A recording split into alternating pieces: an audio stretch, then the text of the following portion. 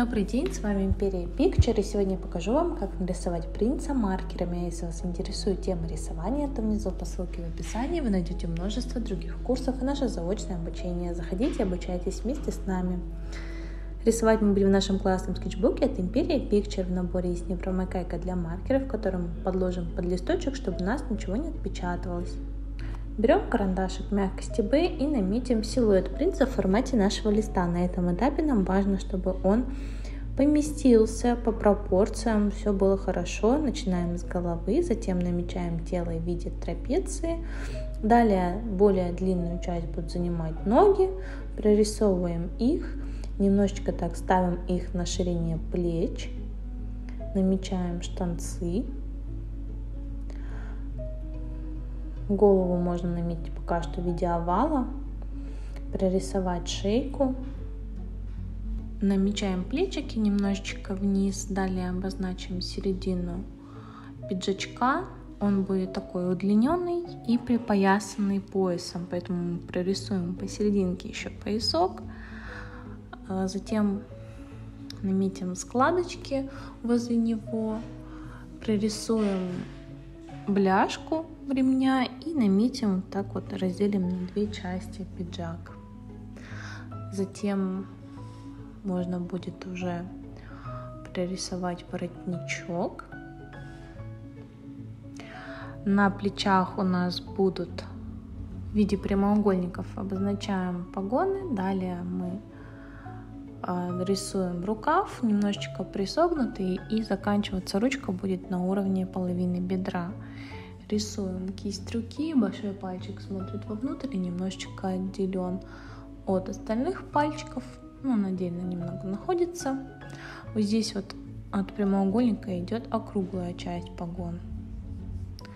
Ну, или можно назвать это каким-нибудь надплечником. Снизу у нас будет располагаться кисточка, такая пушистая часть. Добавляем ее. Вторая ручка у нас сгибается в локотке и идет на пояс. Перед э, собой ее прорисовываем в согнутую в кулачке.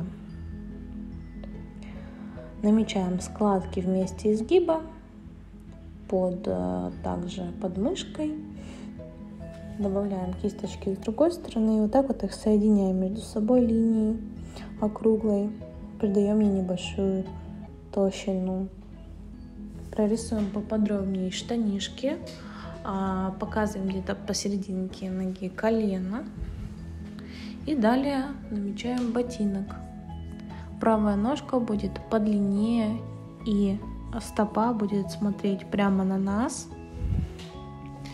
Левая нога немножечко больше развернута будет от нас и чуть покороче, потому что он от нас находится в полоборота, и его дальняя часть будет поменьше и покороче, и поуже, когда мы говорим о симметрии. Затем мы прорисовываем лицо, овал лица, ушко, волосы, а, добавляем брови, нос, тоже он будет э, сбоку немножечко левее располагаться. Рот, глаза наметили.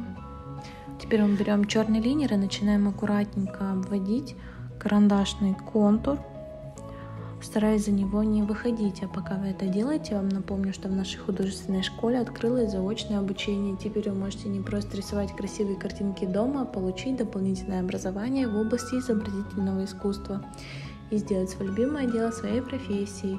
Ссылочку на заочное обучение вы найдете в описании к этому видео. Там же вы можете зарегистрироваться на бесплатные 7 дней. Заходите обучайтесь вместе с нами. После того, как все обвели линером, стираем карандаш ластиком и можем приступать к работе цветом.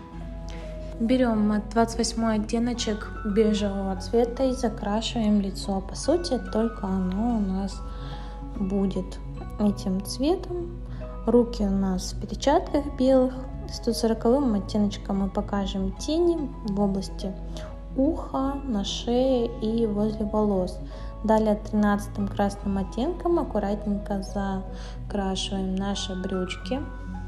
Полоску, которую мы наметили сбоку, можно сделать желтым цветом номер 44 и по итогу получить такой оранжевый оттенок. Этим же желтым добавим э, воротничок и надплечники наши. И также вот эта линия будет соединительная, также бляшка ремня. И сам ремешок тоже сделаем таким оттеночком, а далее 32 цветом покажем тени, отделим тем самым бляшку от остальной части ремня, также наметим в тенях на воротнике линии, на надплечниках. А темно-красным оттенком мы покажем тени на брюках. Эта тень будет с правой стороны располагаться. Мы намечаем по форме ноги.